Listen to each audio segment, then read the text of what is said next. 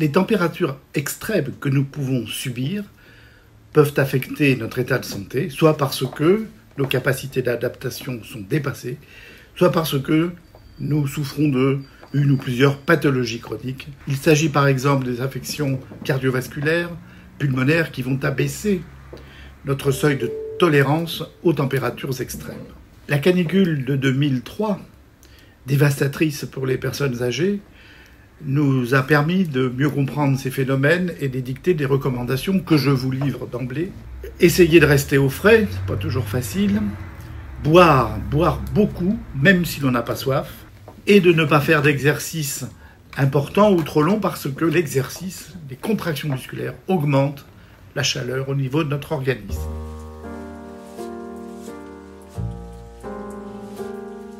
Notre température est assez finement régulée grâce à une région de notre cerveau que l'on appelle l'hypothalamus. Cet hypothalamus est renseigné en permanence sur la température corporelle. Cette température, vous le savez, est de 35 degrés et subit des variations mineures. Les trois meilleures méthodes pour mesurer la température restent les voies rectales, buccales ou la mesure euh, tympanique. Chacune a ses normes propres. Ainsi, la température rectale est normale entre 36,5 et 38 degrés Celsius.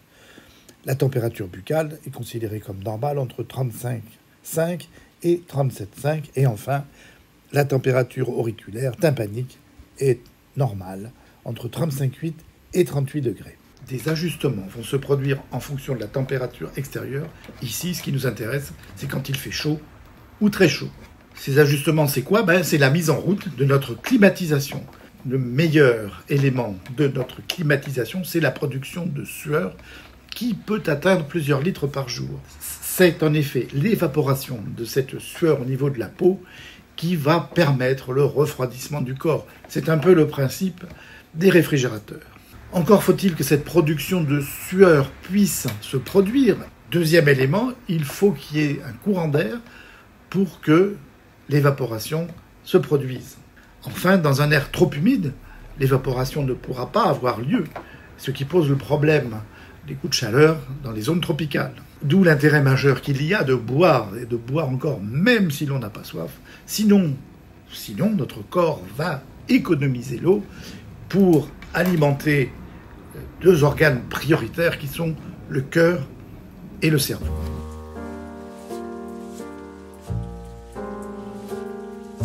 Il est toujours intéressant dans ces conditions climatiques extrêmes de chaleur de pouvoir contrôler notre température corporelle.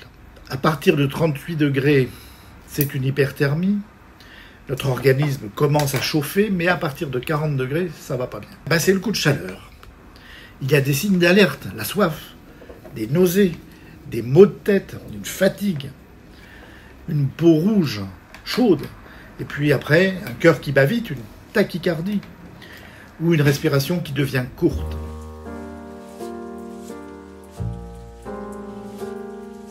À ce stade, il faut tout mettre en œuvre pour rabaisser la température corporelle. C'est d'abord boire, je ne le dirai jamais assez. C'est l'utilisation de ventilateurs pour justement créer ce flux d'air qui permet l'évaporation, qui permet le refroidissement. Au besoin et en l'absence de climatisation, on peut placer des bouteilles d'eau remplies de glace devant les ventilateurs. Sinon, il y a les bains dans une eau froide, mais attention, pas trop froide. Sinon, on risque un choc thermique. 35-36 degrés de température d'eau, par exemple. Et puis, évidemment, il faut surveiller la température.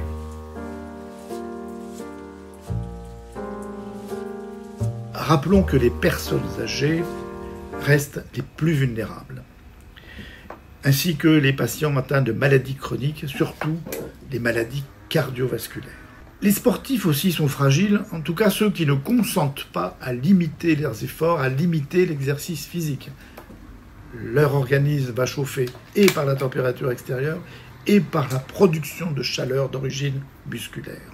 La meilleure mesure préventive est de contrôler, d'assurer les apports en eau, même si on n'a pas soif, et d'éviter les boissons énergétiques, les boissons sucrées, bien sûr, les boissons alcoolisées. Il ne faut pas oublier enfin que le coup de chaleur peut être mortel.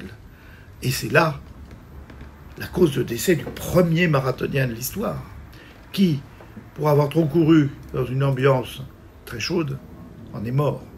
Mais ça, c'est une autre histoire.